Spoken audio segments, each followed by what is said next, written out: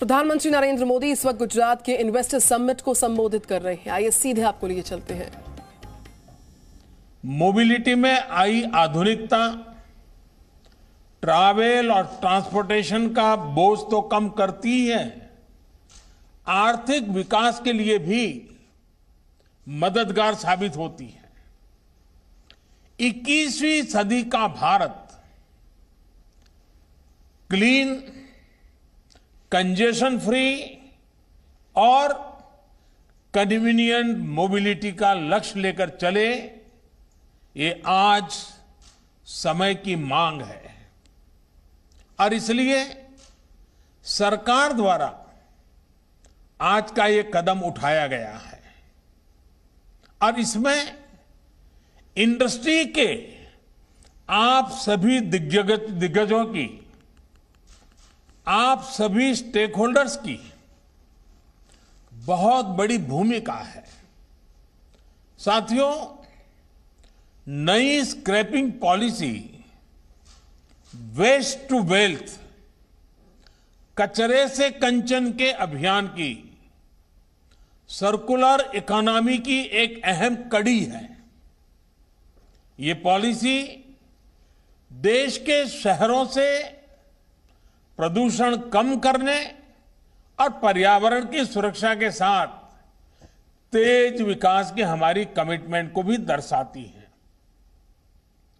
Reuse recycle और recovery के सिद्धांत पर चलते हुए ये पॉलिसी ऑटो सेक्टर में मेटल सेक्टर में देश की आत्मनिर्भरता को भी नई ऊर्जा देगी। इतना ही नहीं, ये पॉलिसी देश में दस हज़ार करोड़ रुपए से अधिक का नया निवेश लाएगी और हज़ारों रोज़गार का निर्माण करेगी। साथियों, आज जो प्रोग्राम हमने लॉन्च किया है, उसकी टाइमिंग अपने आप में बहुत विशेष है। हम आज़ादी के पचहत्तरवें वर्ष में प्रवेश करने वाले हैं। यहाँ से देश के लिए अगले 25 वर्ष बहुत महत्वपूर्ण है।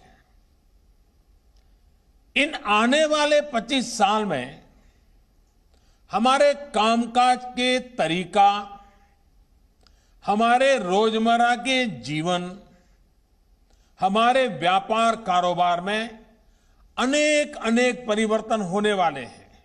होंगे ही। जिस तरह टेक्नोलॉजी बदल रही है, हमारी लाइफस्टाइल हो या फिर हमारी इकोनॉमी, दोनों में बहुत बदलाव होगा।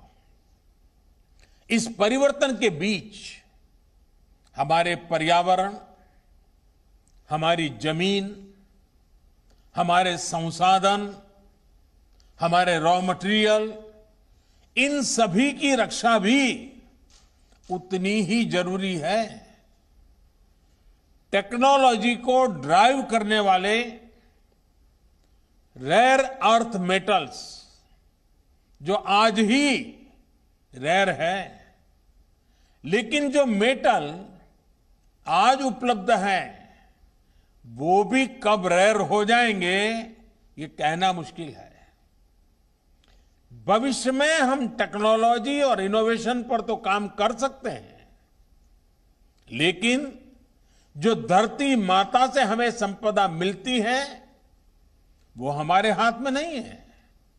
इसलिए आज एक तरफ़ भारत डीप ओशन मिशन के माध्यम से नई संभावनाओं को तलाश रहा है तो वहीं सर्कुलर इकोनॉमी को भी प्रोत्साहित कर रहा है। कोशिश यह है कि विकास को हम सस्टेनेबल बनाए एनवायरमेंट फ्रेंडली बनाए। क्लाइमेट चेंज की चुनौतियाँ हम आए दिन अनुभव कर रहे हैं। इसलिए भारत को अपने हित में, अपने नागरिकों के हित में बड़े कदम उठाने ज़रूरी हैं। इसी सोच के साथ बीते सालों में एनर्जी सेक्टर में अभूतपूर्व काम हुआ है। सोलर और विंड पावर हो या फिर बायोफ्यूल, आज भारत दुनिया में अग्रणी देशों में शामिल हो रहा है। वेस्ट टू वेल्थ का एक बहुत बड़ा अभियान चलाया जा रहा है। इसको स्वच्छता से भी जोड़ा गया है और आत्मनिर्भरता से भी जोड़ा गया है। बल्कि आजकल तो हम सड़कों के निर्माण में वेस्ट का बड़ी मात्रा में उपयोग कर रहे हैं। सरकारी बिल्डिंग गरीबों के लिए घर के निर्माण में भी रिसाइकलिंग को प्रोत्साहित किया जा रहा है। साथियों, ऐसे ही अनेक प्रयासों में आज ऑटोमोबाइल सेक्टर का नाम भी जुड़ गया है। इस पॉलिसी से सामान्य परिवारों को हर प्रकार से बहुत लाभ होगा। शायद सबसे पहला लाभ तो ये होगा कि पुरानी गाड़ी को स्क्रैप करने पर एक सर्टिफिकेट मिलेगा। ये सर्टिफिकेट जिसके पास होगा, उसे नई गाड़ी की खरीद पर रजिस्ट्रेशन के लिए कोई पैसा नहीं देना होगा। इसके साथ ही उसे रोड टैक्स में भी कुछ छूट दी जाएगी।